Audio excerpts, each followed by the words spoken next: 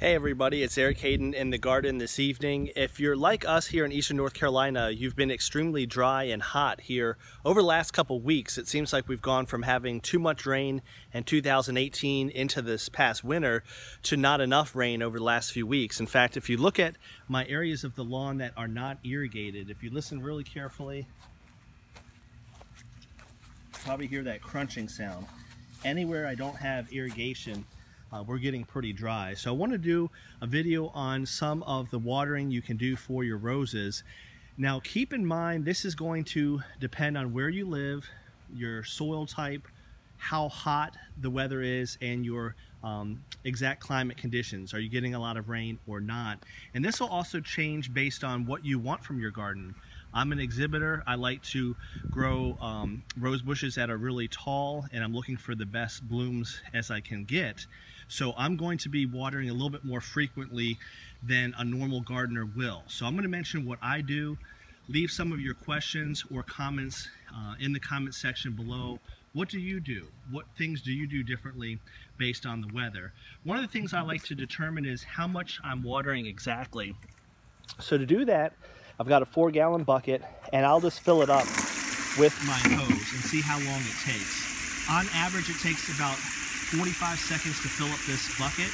And I usually aim for uh, between three and four gallons of water per bush when I'm watering. So I'll actually go out to the garden, water around each bush, and actually set a timer. So around 30 seconds or so, I usually stop. That's when I'm getting my three or three to four gallons of water per bush.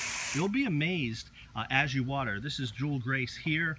Uh, I pulled back the mulch the other day to apply some of the uh, long-term slow release fertilizers I haven't put the pine straw back yet but I'll give it about 30 seconds we're about 2 minutes and 19 seconds into this video I'm taking and again you'll just be amazed how much water you can get out of 30 or 40 seconds of watering so not only does this help me water exactly how much I need but it keeps me from watering too much. And with my sandy soil, the too much is not so much that I'm going to drown the bush, it's that I'm wasting water. So a good 30 second soaking for my um, PSI or my pressure level is good. Um, you can see this is filled up the drip line around the rose itself. I'm about the 30 second mark and I'm gonna stop and then we're good for that. So how often do I water? Again, if I have a good soaking rain, then maybe just once a week in addition to that good soaking rain. If it's been quite dry like we have been recently, uh, then I'll do it much more frequently. Two to three times per week. We've had temperatures in the 80s and 90s and haven't had a lick of rain. So I'll water out here two to three times a week. That is my soil type. Sandy soil, it the water goes through it very quickly and I'm looking for exhibition type roses. If you're a regular gardener and you're just trying to keep the, the roses going, my recommendation would be once a week. Again, 30, 40 seconds per bush, depending on how many uh, gallons that you're getting out of that end of the hose. And that's good, especially uh, if you get a heavy rainfall, then maybe you don't have to water that week. So it's all gonna depend on what you're looking for uh, once a week if you don't get a heavy rain, if you get a good soaking rain, then you don't have to worry about it. If you're an exhibitor and you want the best bushes you can get, the best blooms, then you're gonna be watering a couple times a week. And again, that's gonna vary not only on what you want, but your soil type. If you've got clay soil, then maybe you're not having to water quite as frequently. The other thing you need to keep in mind, these are mature bushes, so they can take a little bit of dryness in between. If you have things like pots, Depending on the size of the rose bush, you're gonna have to do it a little bit more frequently.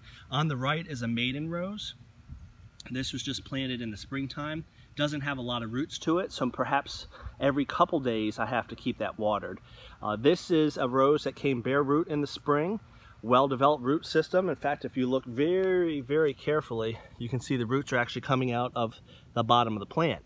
During heat that gets into the 80s and 90s, I've got to water at least once a day with those pots because the root system is so developed. So again, watering is going to depend on what exactly you're looking for, how hot or dry it's been, your soil type, and again, if you're getting um, rain from Mother Nature or not. So kind of keep that in mind in terms of your watering needs. One other thing I'm going to point out is time of day. We're here in the evening just about 7 o'clock here in eastern North Carolina. So when I water in the evening, I am not getting any water on the leaves as best I can. I'm trying to water right around the base of the rose itself. I don't want any water on the leaves because that's where you can get some black spot and some disease. The only exception is during hot spells like this, if I wake up early enough, I will actually go out there and water in the morning. When I do that, I actually do wet the leaves down. The bushes like that, um, gives them kind of a cooling off effect, but sometimes it also helps with uh, disease and also insects. A little bit later, I'm gonna do a video on something called spider mites. Uh, you can get these, they can really creep up on you, especially hot, dry conditions like we've had recently. This is Let Freedom Ring. If you look at those leaves, notice how they're kind of a lighter shading of yellow in some areas. If you flip the leaf over, I'm seeing, seeing some spider mites creep into my garden. And that is one thing um, that can help with that is watering on the underside of the leaves and the bush itself. So all about the time of day. If you're doing the evening, you want to keep that water off the rose bush itself. If you're doing in the morning, it's been hot and dry, go ahead and give your plant a little soaking. As I leave you with a tour of the rest of the garden, leave your comments below.